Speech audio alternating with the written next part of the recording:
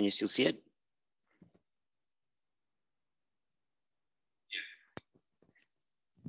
All right. So we'll have to move kind of quickly today because we lost a lot of time there. Sorry about that. So last time,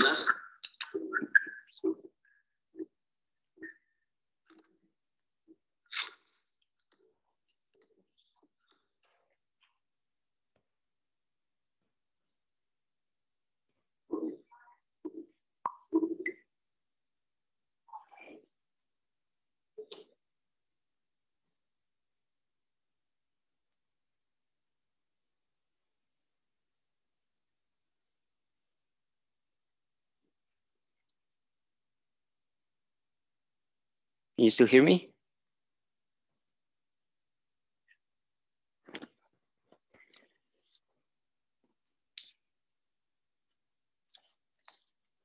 So last time we looked at uh, a distribution. It was a distribution of the sum of two dice, right? And it looked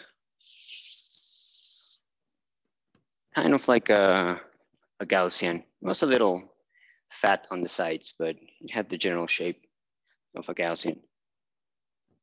And the last thing that we mentioned was that you can combine the spin up and spin down um, and use the,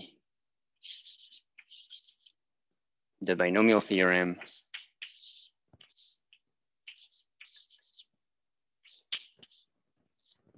to get how many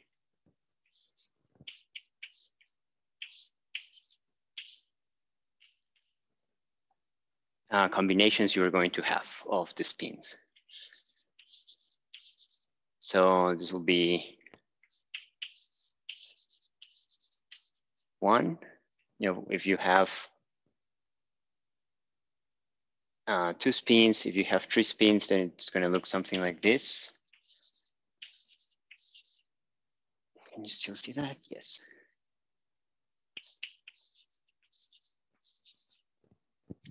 And so on, right? So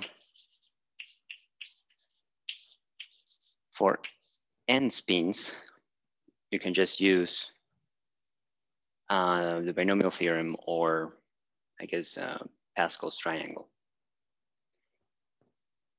So there's this concept, it's called the multiplicity G. Um,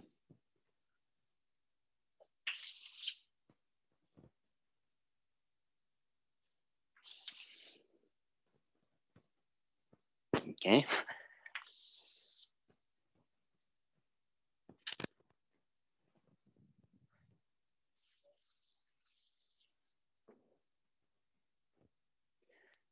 In this case, it's going to be a function of n, the number of spins, and S, the excess spin.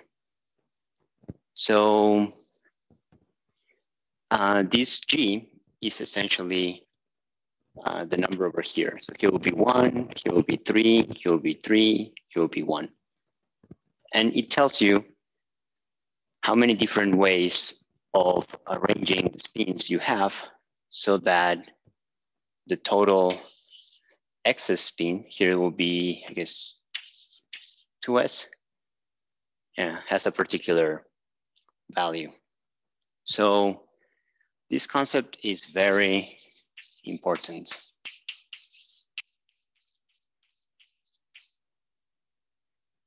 Um, actually, pretty much everything that we're gonna see this semester has to do with the multiplicity. How many ways? So for the sum of the two dice, you had, I think, six different ways of getting um, a seven.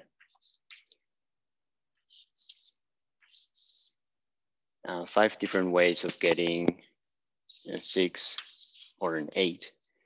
So this number, six, five, four, is a multiplicity. So diff, uh, six different ways of getting that sum.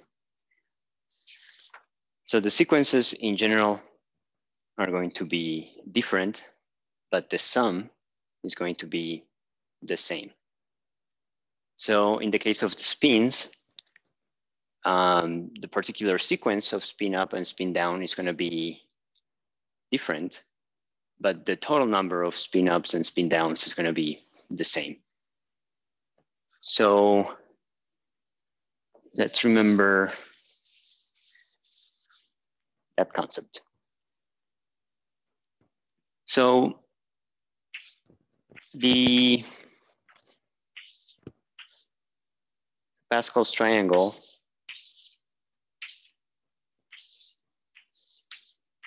looks kind of like that, right? And we can also express it as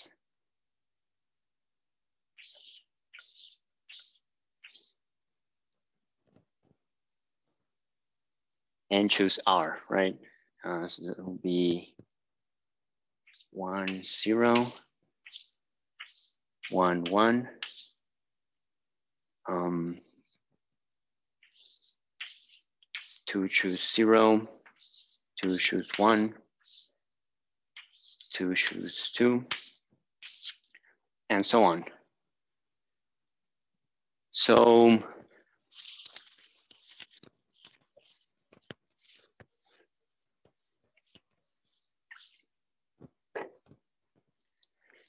what is the formula to calculate the uh, number of combinations?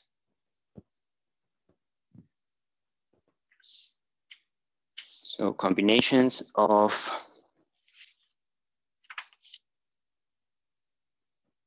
um, n and r is n factorial divided by r factorial times n minus r factorial. And you have probably seen that in other classes, is that right? Okay, good. So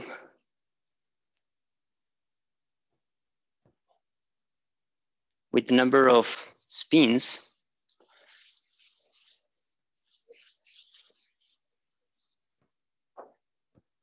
uh, that is going to be given by, well, this is the multiplicity, right? It's the number of ways that you can arrange it. So G of n uh, and S equals capital N factorial, so the number of spins.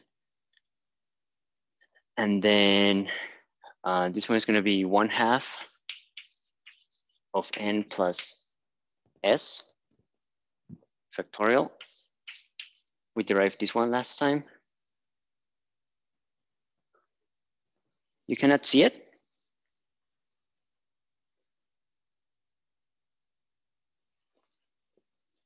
Um, that is weird. Oh, okay, okay. I was like, it's there. so this is one half n minus s factorial, right? So we're using the same um, formula. So uh, if we look at the number of uh, spins up, then this is going to be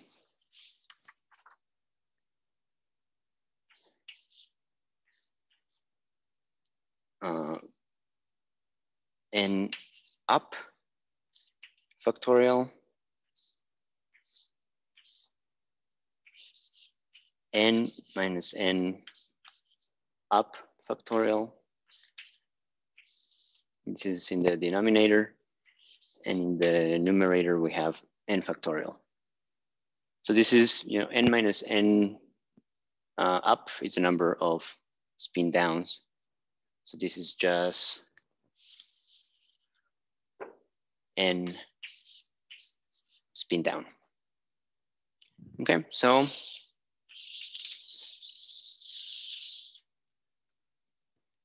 fairly compact.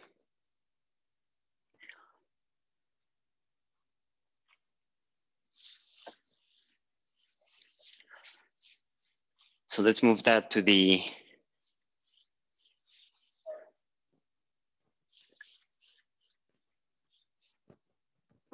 back burner.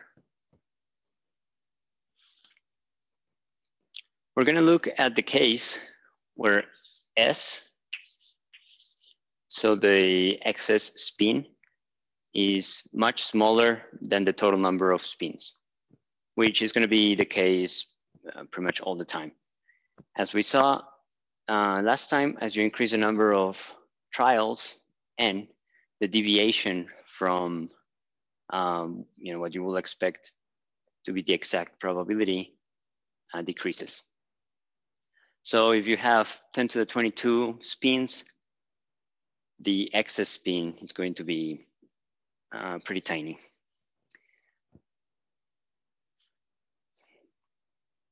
So the first thing that we need is uh, Stirling's approximation. Have you heard about it before? Okay. So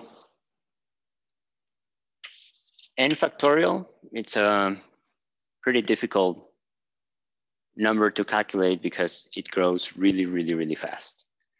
So even if you have a computer, um, it probably has a limit of, I don't know, maybe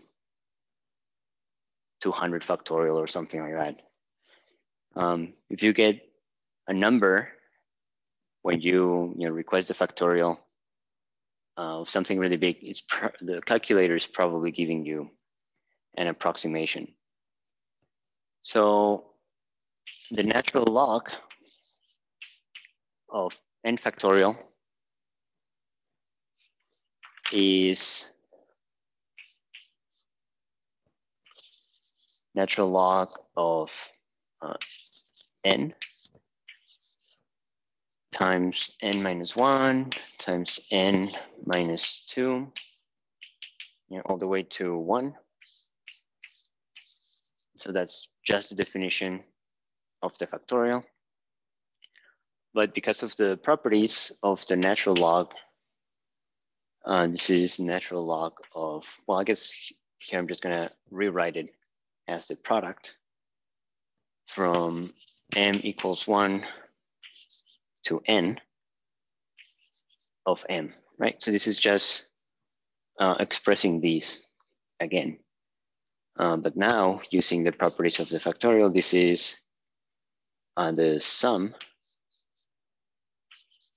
from m equals one to n of the natural log of m. So if n is very large, then this sum can be approximated by the integral. So it's the integral from one to n of the natural log of m dm. And this one um, is well known is m natural log of m minus m evaluated from 1 to n. So the one is going to be pretty tiny. So this is approximately equal to n natural log of n minus n. Okay, so this is the natural log of n factorial. So it's a pretty handy uh, approximation. So now if you want to know the value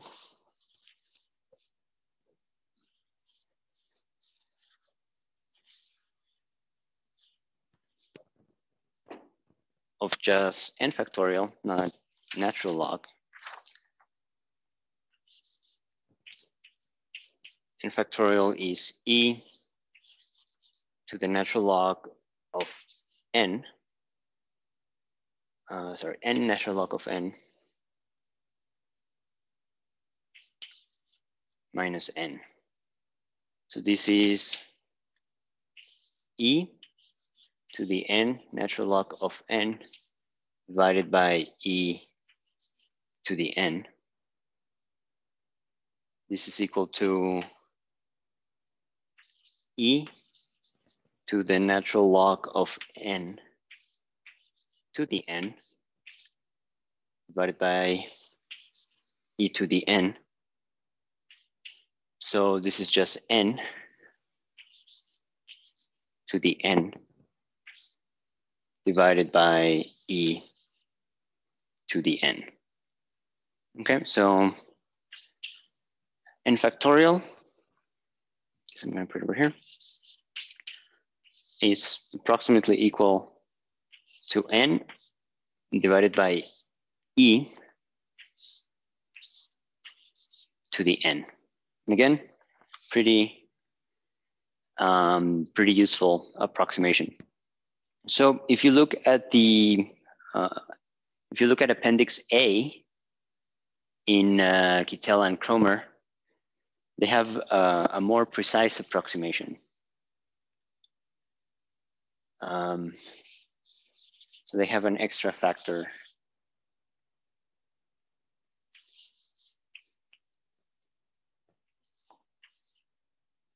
Mm. So it's square root of 2 pi times n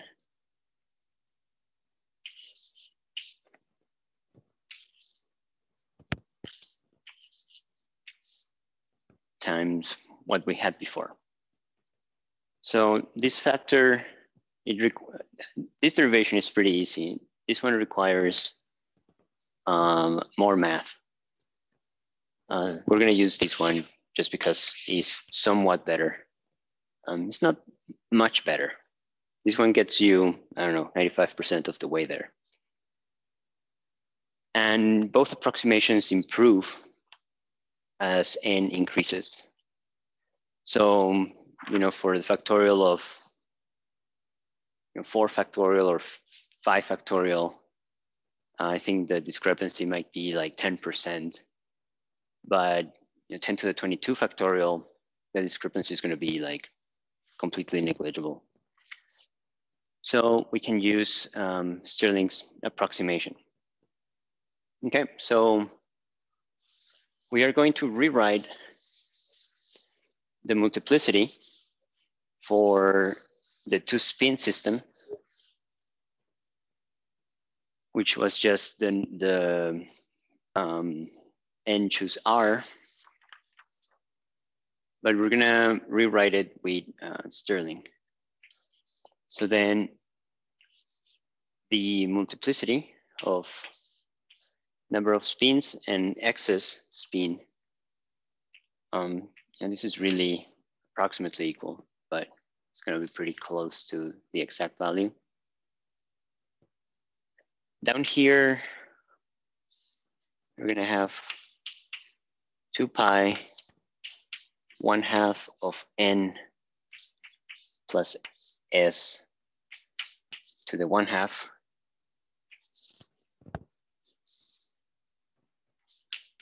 One half of n plus s to the one half n plus s. E to the minus one half n plus s.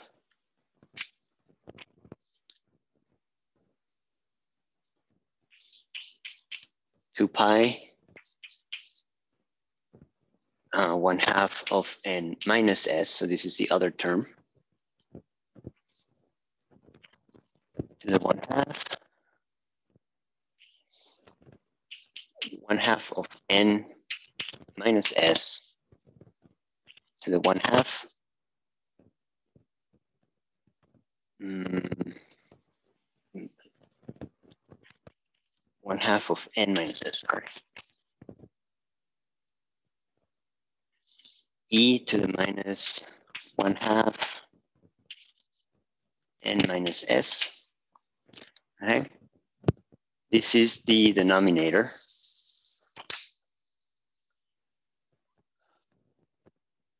And up here, we're going to have uh, 2 pi n n to the n e to the minus n. How does that look? Pretty nasty? Yeah? it's kind of long. All right, so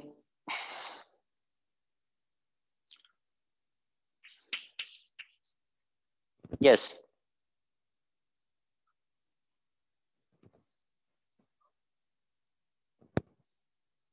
Yes, you're right. Thank you.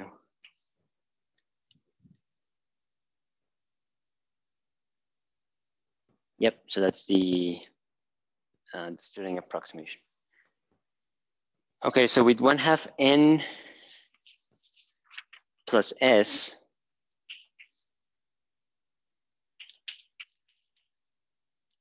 this is one half of n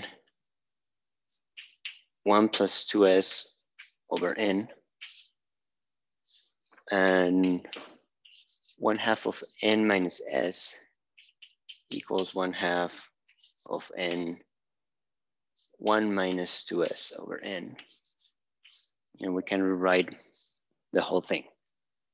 So because I am going to need the space, um, this is going to be a little this is going to be ugly. Okay.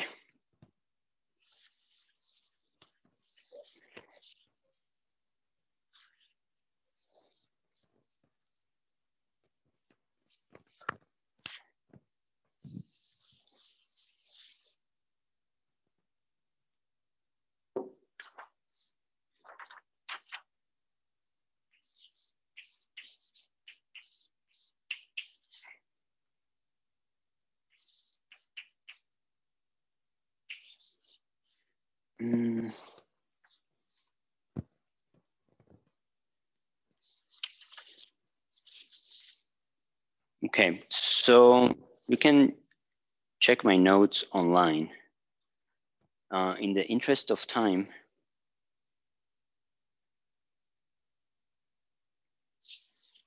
I'm going to skip a few steps.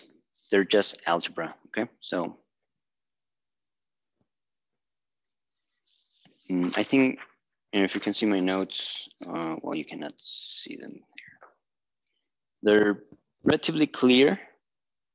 Um, so I have different colors for the quantities that I'm uh, canceling out. Okay, so uh, I'm gonna post them on Blackboard when I get home. So check them out. Mm.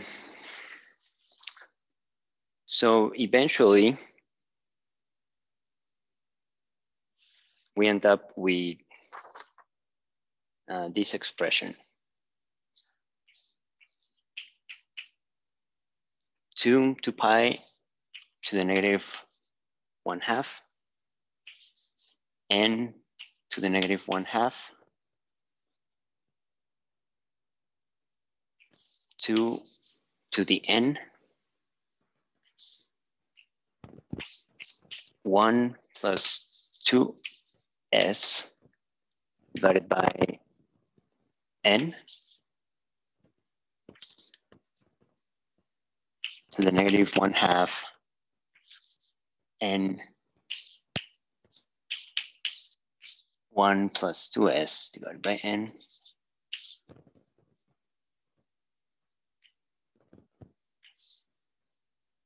And then the negative one.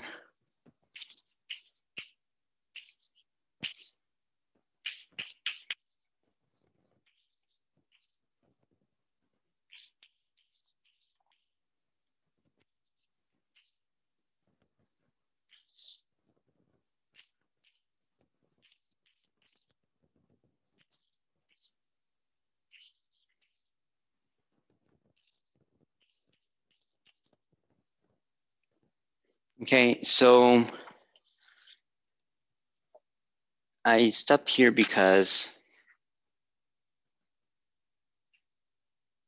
you were going to come up with a, another mathematical trick. And you know, these tricks are pretty common in, uh, in statistical um, mechanics. So uh, this term over here, it has, uh, it is uh, quadratic, right? So it has the s squared and the n squared.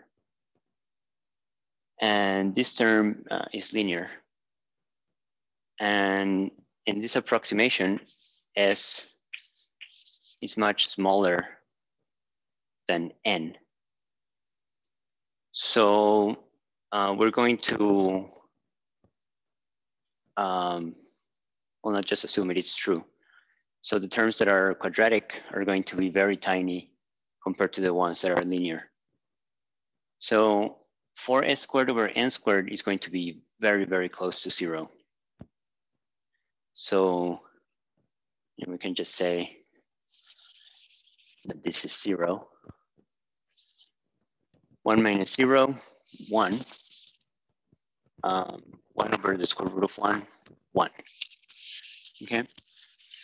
So this term is very close to 1. We can ignore it. Well, we don't ignore it. It's just multiplying times 1. And then we have uh, this term over here.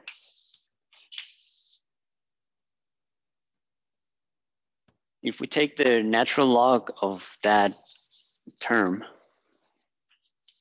so natural log of 1 plus 2s divided by n minus 1 half of n times 1 plus 2s divided by n.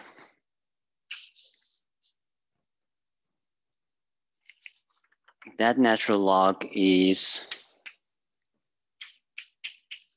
minus 1 half of n times 1 plus 2s over n. So the, the exponent over here, natural log of 1 plus 2s over n. Right, so this guy over here. So the power expansion of the natural log of 1 plus x is x minus x squared divided by 2 plus x cubed divided by 3 minus da da da. You can still see that? Yes, okay. Uh, so this is just the Taylor expansion of this. So when x uh, is approximately, well, x is much smaller than one. Okay, so this is what we have over here.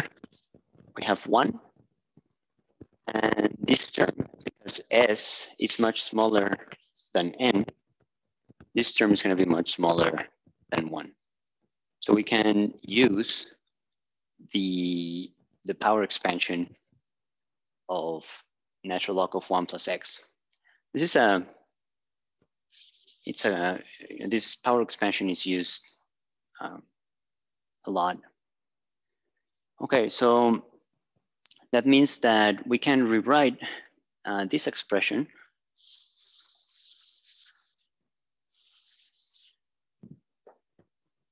as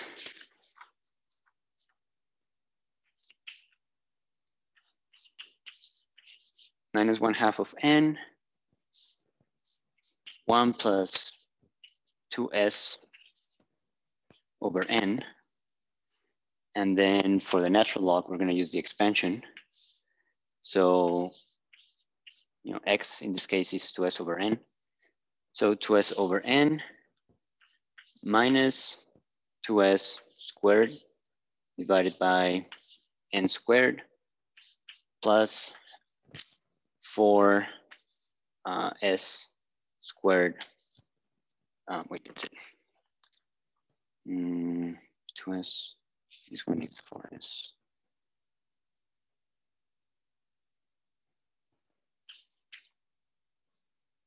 Yeah, plus everything else.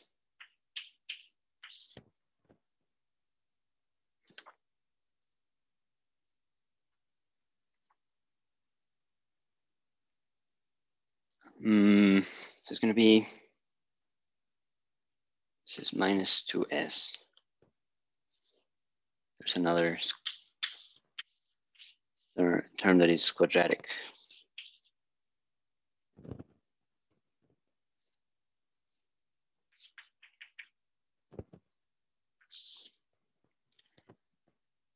Okay, so it looks like that. Um, we have two of these terms.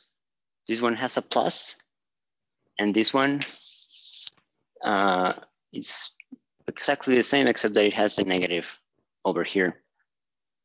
So we can just do this one for the negative. And that one is going to be, yeah, I guess the same. Just you have the negative here and the negative here. And this one is going to have a negative here at the beginning. This one is also going to be negative. This one is going to be positive. And you have the other terms. So when you uh, multiply both of them,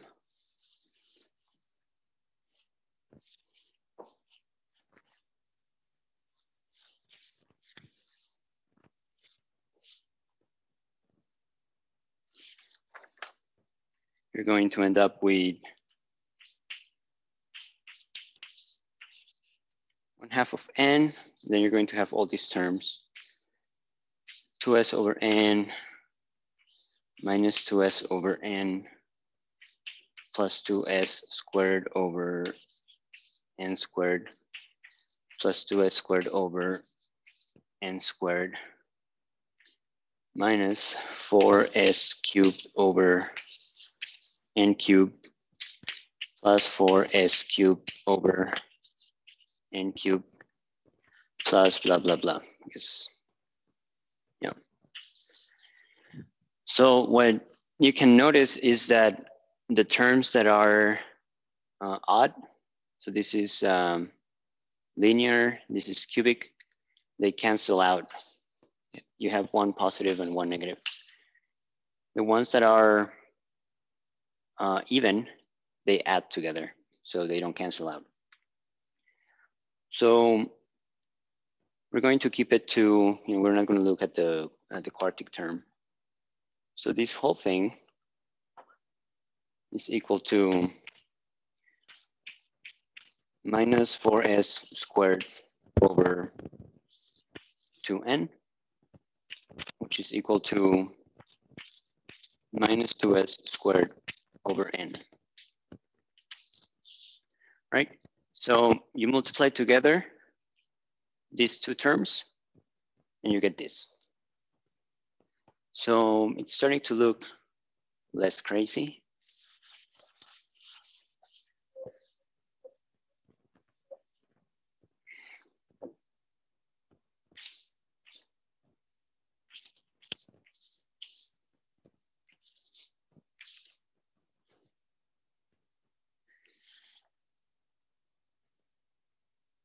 Um, oh, this was a this was a natural log.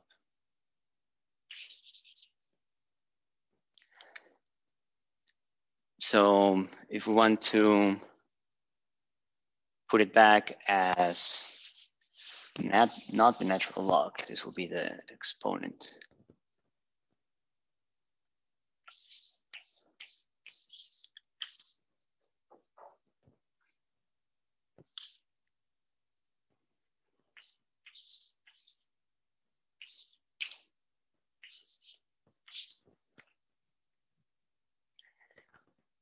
Okay, so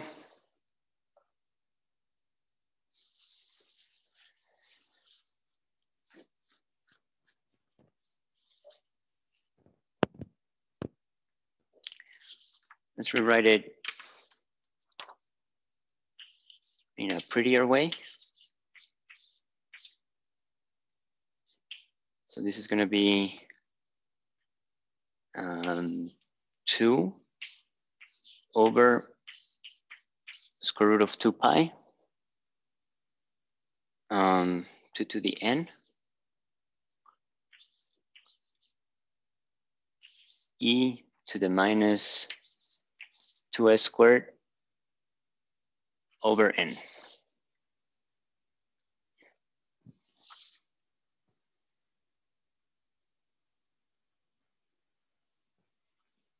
Yes.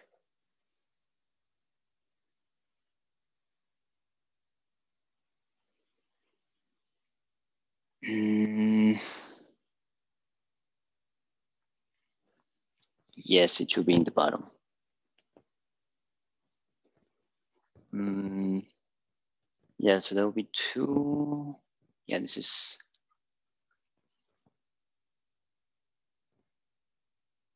Pi n. The one half.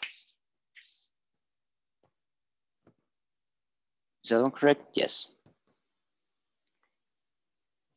Okay.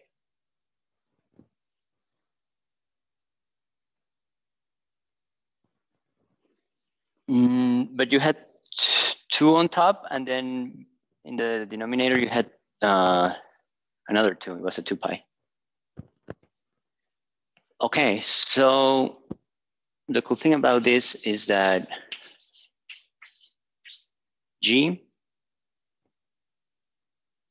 of n and no spin excess is equal to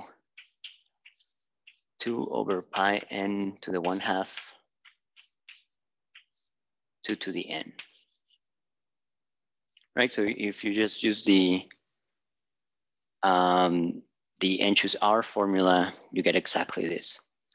So that means that we can rewrite this g n s is equal to the multiplicity of n zero e to the minus 2s squared over n. Okay, so it doesn't look that daunting anymore. Um, what shape does this have? What is it?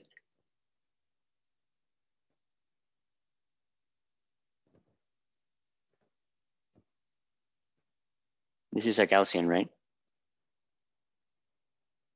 So not surprisingly, because this is just a binomial theorem, the shape uh, actually is going to be centered at zero. It's just um, a Gaussian. So here, this is the, this is S, the spin excess. And the top, so the, the maximum value is gonna be G of N zero. Okay, so how wide is the the Gaussian. Well, the more general form, okay, so um, before I forget, this one Mm, this one is equation 1.35. So equation 35, chapter one, Kittel and Kroemer. Okay, so we're in that section. So the general form of the Gaussian is e to the minus x squared divided by 2 sigma. Um, well, it's x minus mu, you know, the, the, the mean, but we know that the mean is going to be zero. So we can just forget about it. So uh, if this is the Gaussian, that means that the um, one over two sigma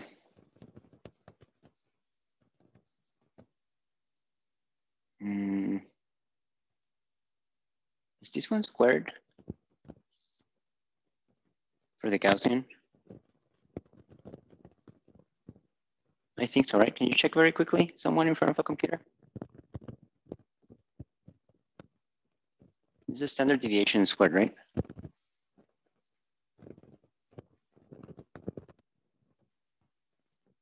think so. So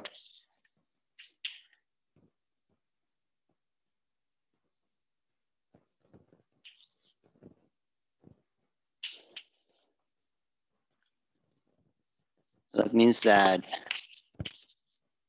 n is going to be 4 sigma squared.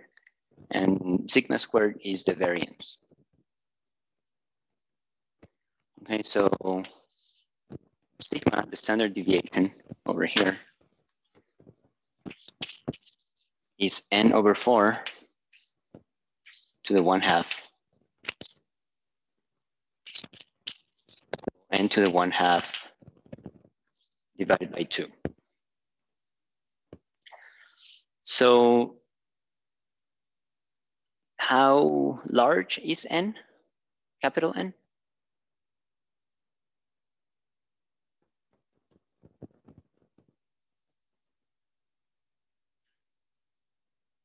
Well, it's the number of spins in a, in a magnet or in a magnetic material. Uh, each atom has a spin, so it's going to be of the order of Avogadro's number, right? So 10 to the 22.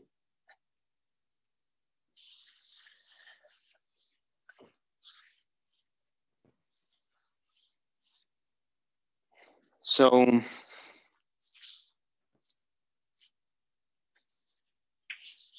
well, Avogadro's number is 10 to the 23, but to make it easy uh, to divide it to get the, the square root.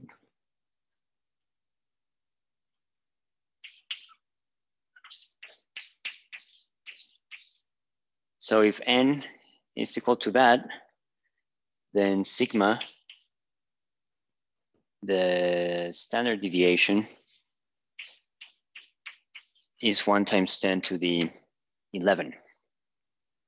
So it's a pretty big number, but um, if you divide it by by n, which is the height, you know, essentially the height of this um, Gaussian, then it's 10 to the 11 divided by 10 to the 22.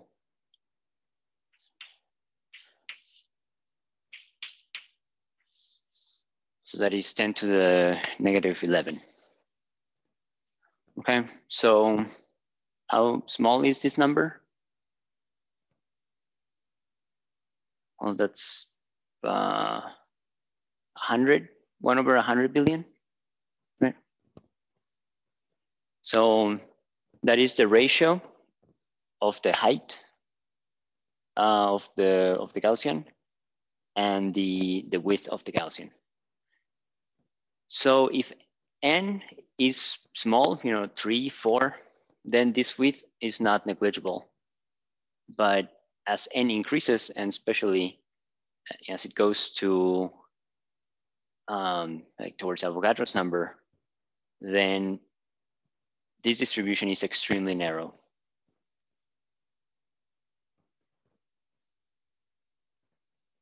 And so you will not expect, you know, a magnetic material to align all of its uh, spins in the same direction and suddenly become um, uh, like a permanent magnet, right?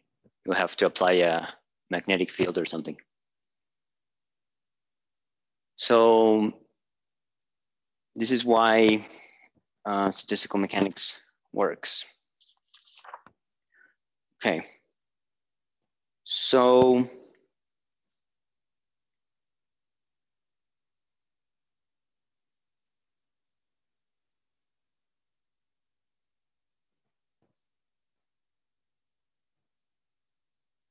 yeah. It's going to be close to the height. Yes. Same, same, same order. Okay, so let's um, let's continue repeating what we did last time. You know, just with a system that is a little bit more realistic, which is the system with the spins. So after getting you know, the, the Gaussian shape uh, with, the, with the two dice, uh, we calculated the average and the, I mean, the, the mean and this and the variance, right? So we're gonna do that again, but we're going to do it um, more generally. So we had you know, the expectation value uh, of S, you know, when we added uh, all the the, the possible values of the sum, two, three, four, five, and so on, times uh, the probability of getting it. So, you know, one, one over 36 of getting a two, two over 36 of getting a three, and so on. We multiplied the value times the probability and we added everything together, right?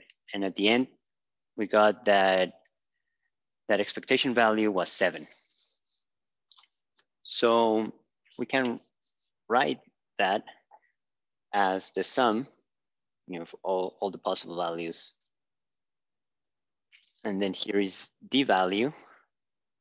And here will be the probability of getting that value. Then we also got the expectation value of the squared. Right? So we can write that as S squared and then the probability of getting uh, that value. So in general,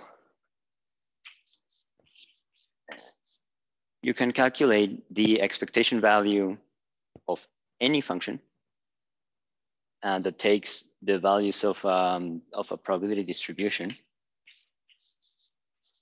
So it's going to be S the function of S and the probability of S. So in this case, what is the function? Well, it's just the value that you're getting, right? The sum, so S. Here, well, is uh, X squared. So the,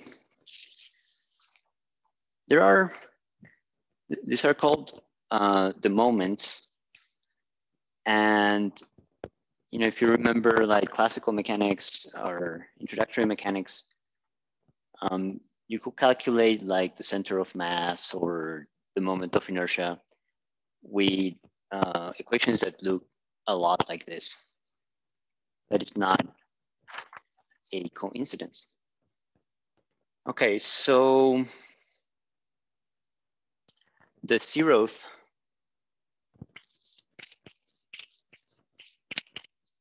moment.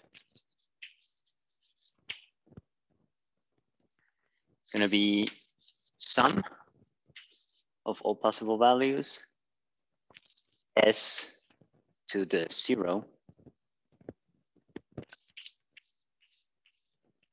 P the, the probability of s. So this of course is one.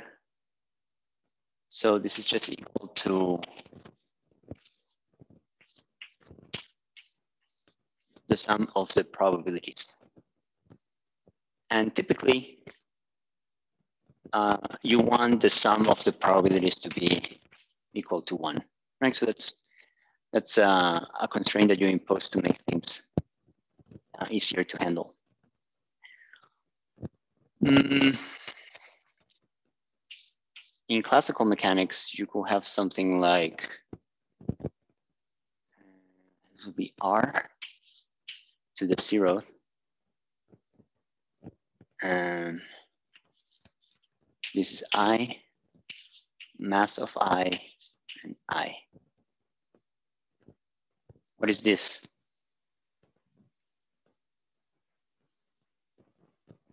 So R, I, no matter what it is, is to the zeroth. So this is just one.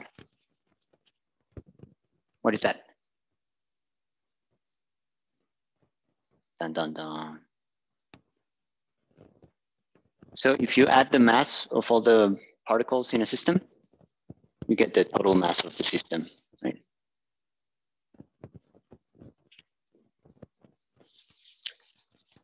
So that's the zeroth moment, the first moment.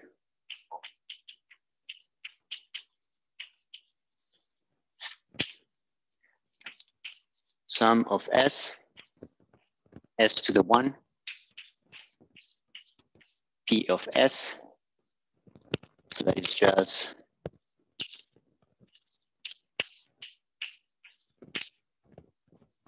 um, the, the mean, right, what we had over here. In mechanics, this will be know, the particles I, Ri, to the one, which is just Ri, Mi. So what does this give you? Gives you the center of mass.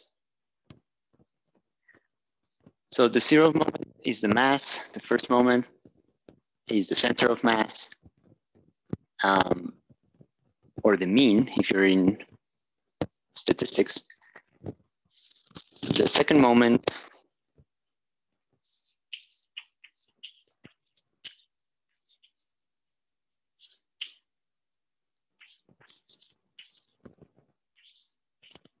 s squared, probability of s. Um, so this is just in statistics is the, the variance. Uh, in mechanics, this will give you r squared i times mi. This gives you the moment of inertia. Right, so I don't think higher moments are used in, uh, at least commonly, in mechanics. Um, but in statistics, uh, you can go on. So the third moment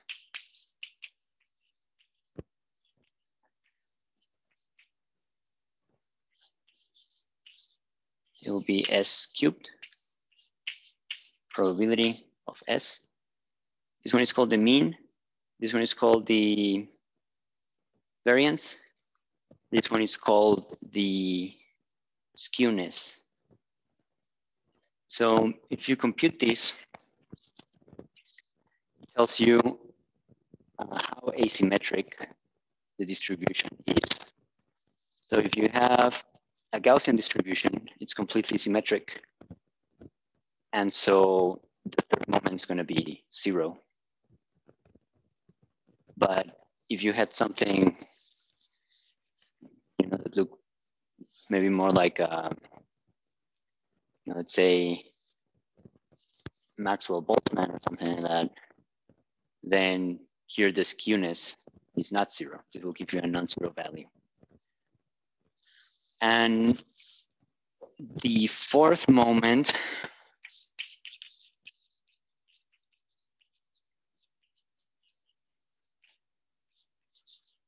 you guessed it, s to the fourth, probability of s. This one is called the kurtosis. So that tells you how heavy the tails are. So if you have a Gaussian that looks like that, and it's a perfect Gaussian, then the, the uh, kurtosis is gonna be zero. But you know, let's say that the tails are really heavy over here. It looks more like that. Then the kurtosis is going to be not zero. Okay, so just remember that you're just uh, using this general form. You have the square, the cube, the, the fourth power. Uh, you multiply times the probability of getting that value. You add everything together. Um,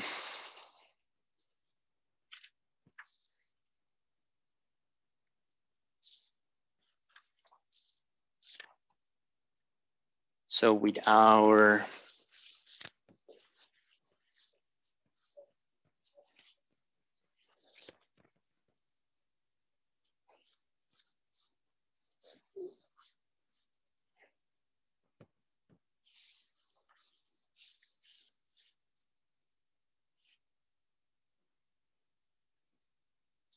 with our um, magnet,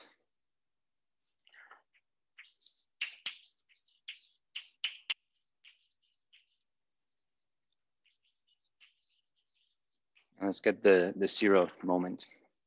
We have the definition, so S to the zero, uh, probability of S. So this is gonna be just one and what is this probability for the value S? Well, it's the multiplicity. So G of N uh, and S. So the multiplicity of, of course, depends on how many um, spins you have and the excess spin. So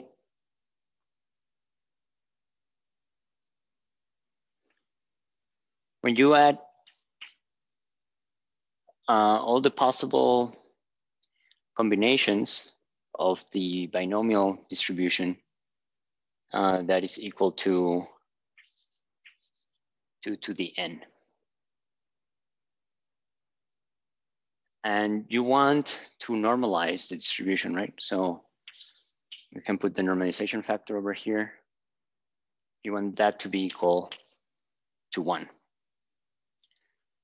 So then if you want to uh, normalize your, your, uh, your total probability to one, you have to divide by two to the n. So this value over here is two divided by pi to the n to the one half, two to the n,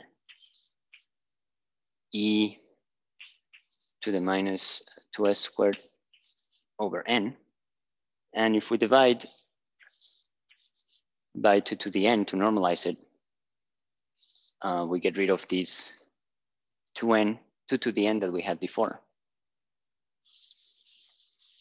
And so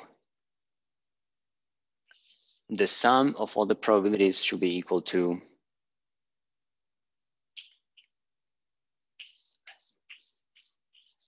to that. Okay, so this is the zeroth moment.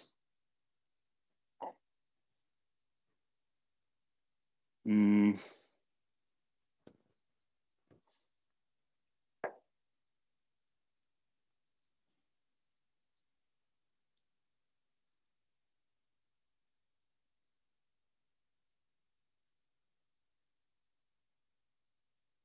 Okay, so I'm gonna go to I had a few more details over there, but I'm gonna go to the first moment.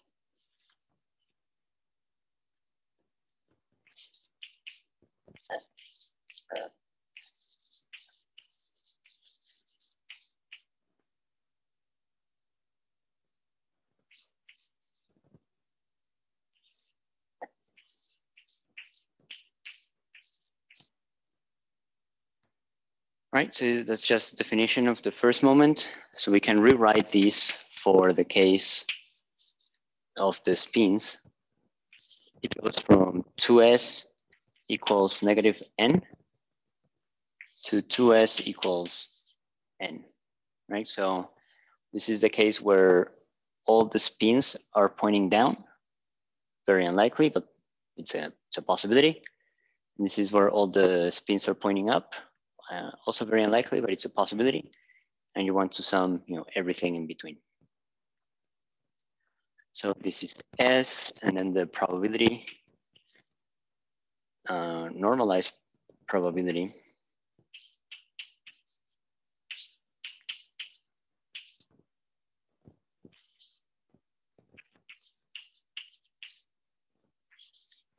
Is that. And because N uh, is really big, again, we can uh, use our trick and approximate it with an integral. So this is a constant. We can take it out of the integral.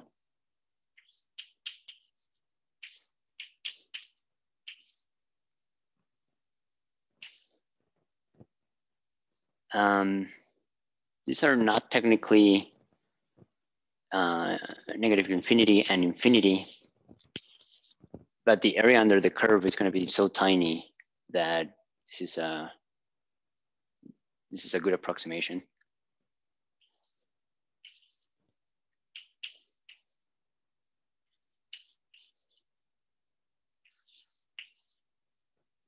Okay.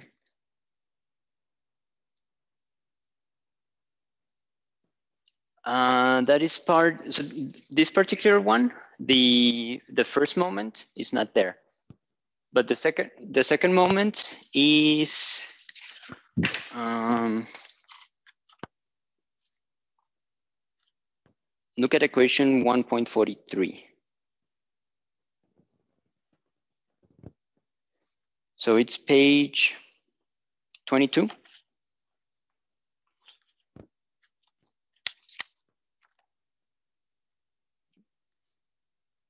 So they look at the zero moment and the second. Um, I just decided to stick in the first one in there for completeness.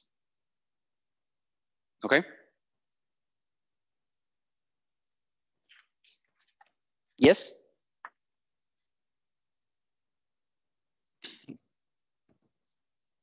Okay. Um,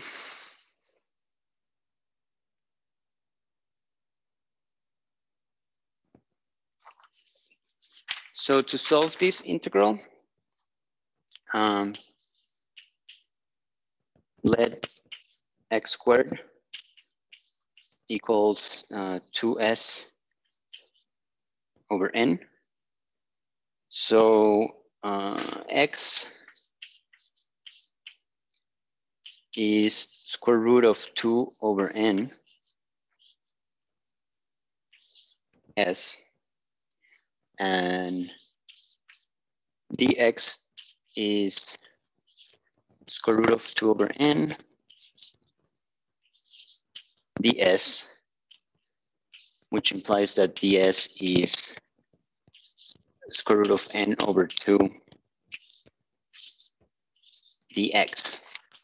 Okay, so using this substitution, we can rewrite these integral as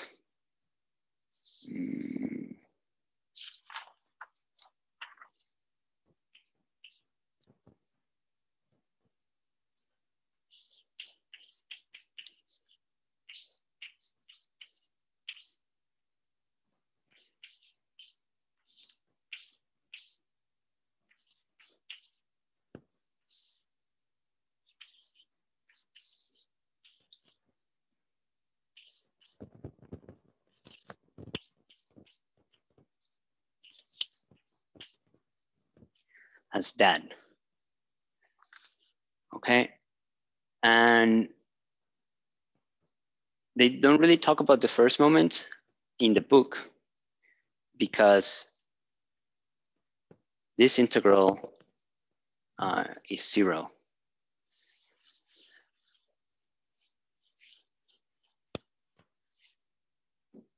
So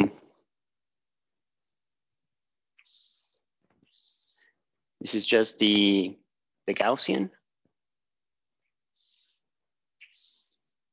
And you're multiplying times x, right? So over here is gonna be negative.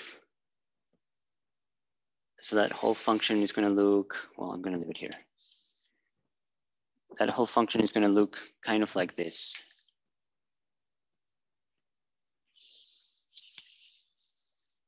right? So the area under the curve here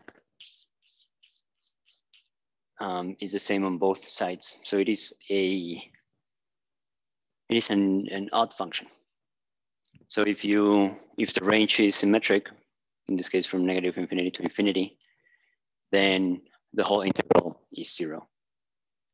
And well, we knew that, right? The the average of all the spins um, is, is zero. So if you just throw them out randomly um, and you do the experiment and you have 10 to the 22 or 10 to the 23 spins, then um, the expectation value is that you have as many spins up as uh, the number of um, spin spins down. Okay, so I'm gonna stop over here. Um, the last thing that I wanted to cover, yeah, oh, it should not take me too long next time, uh, is the second moment. So the second moment is the one that they uh, talked about in the book. So it's very similar. Uh, this is going to be, the only difference is that this is going to be squared. This is going to be squared. And this is going to be three halves. Um, but this, this integral um, is the gamma function. So if you want to solve it, it's going to be extremely difficult, um, but the values are, are tabulated. So uh, this integral is in the appendix of uh, Kittel and Kroemer. It is equation, it's appendix A. So equation A5 and A6. Okay, so take a look. Okay, so today we saw that the system with magnetic spins, spins up and down, behaves pretty much the same as the, the dies, um, you know, as expected because both of them follow the, uh, the binomial, both have a binomial distribution. But when you go to really large values of n, then um, um, the, the distribution becomes uh, extremely narrow. And we learn a few mathematical tricks that uh, you will you will see repeated you know, in this class. Uh, Stirling's approximation, the, the power expansion of the natural log of one plus x, uh, and these, uh, these integrals, uh, which you see a lot in, in probability. Um, without the squared, this is the uh, error function. And yeah, this is the, the gamma function. All right, so Thank you. I'm sorry for being a little bit late. I'm going to stop recording.